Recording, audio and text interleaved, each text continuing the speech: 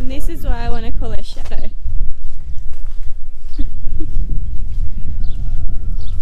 so we must have caught it early and the combination of probiotics and bicarb and anti-bloat and ginger must have done its trick on her.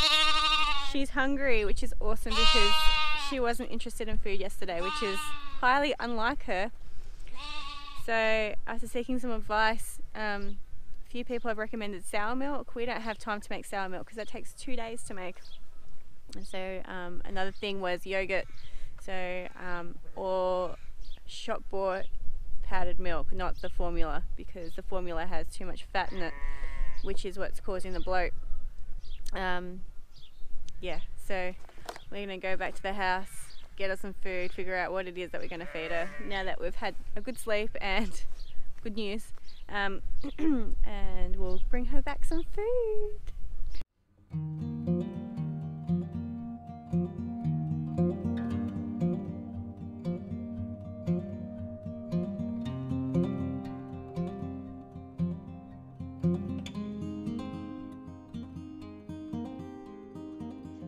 The day that we go and pick up the food waste from our local supermarket. So I'm quickly making some paleo pancakes and I'm going to make a rhubarb compote to put on top. I'm also going to get lunch ready so we can eat it when we get back and I'm going to make a chickpea and carrot soup with some Chinese broccoli thrown in as well.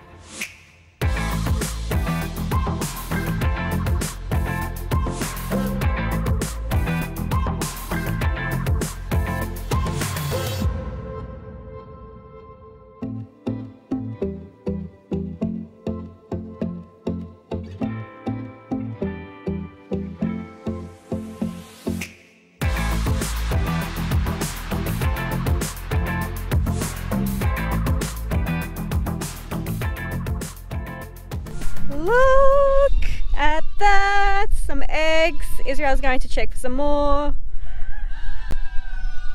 The lammies are nice and healthy and chasing after Paul. He's going to make him a bottle.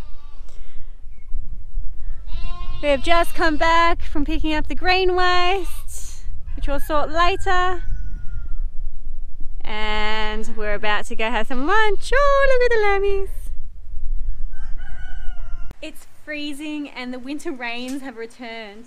It really feels like I'm in the middle of winter again and not spring at all, especially because we had such beautiful weather at the beginning of the week. But not to worry, it's going to warm up again on Wednesday. It's going to be beautiful again.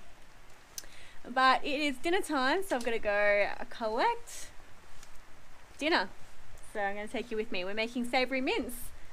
Still haven't really decided what I'm putting in it, so I'm going to put on Paul's gum boots because um, I'm wearing my nice thick socks and they don't fit into my gum boots. I'm going to collect a few things to pop in it. I'm thinking carrots, turnips and red Russian kale. I'm going to have a look and see what else.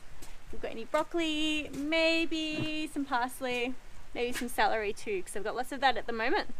Um, okay, let's go for a hunt.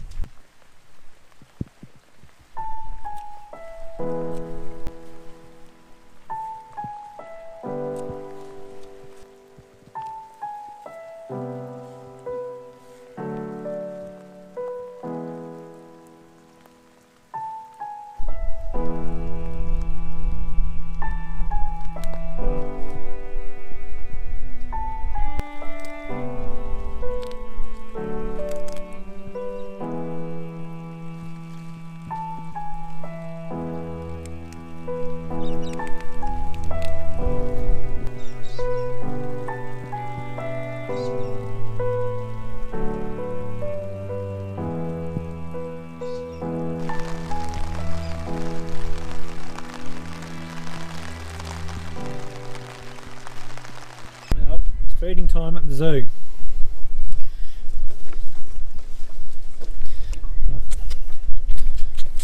I think we're going to have to grab another teat because they both want to feed at the same time. Unfortunately, the stock feeders was closed today. I went to go make my sourdough muffins or prepare them for um, the next morning, and my sourdough starter was moldy. I think it's because I had it on top of my wood fired oven and it was too warm, and maybe I didn't feed it enough during um, the times that I used it. Oh, I'm sorry. I'm so annoyed at myself. But that means that I can show you how to make a sourdough starter. It's really easy. It's just going to take me a week, which is frustrating because I wanted to make sourdough crumpets and um, some sourdough bread. But I'm going to show you how to make this starter and I hate throwing away stuff. So um, when you make a starter, um, part of the process is removing half of it and um, adding more flour to feed it. And I, that didn't sit well with me. I didn't want to throw away that much flour, especially because my flour costs me $75 for a 25 kilo bag. I just couldn't fathom throwing it out. So I came up with a few ways to use the um, starter that you're supposed to discard at each um, time and I'm going to show you yeah some ideas on how to use it so stay tuned so I've got a nice big jar to start off my sourdough starter and I'm going to put in about a quarter cup of flour. This is heritage wheat. It is wholemeal it is stone ground. It's all the beautiful things that you want in a wheat. And I've got that in there. And I'm going to put in about half a cup of water. And I'm going to stir it and aerate it.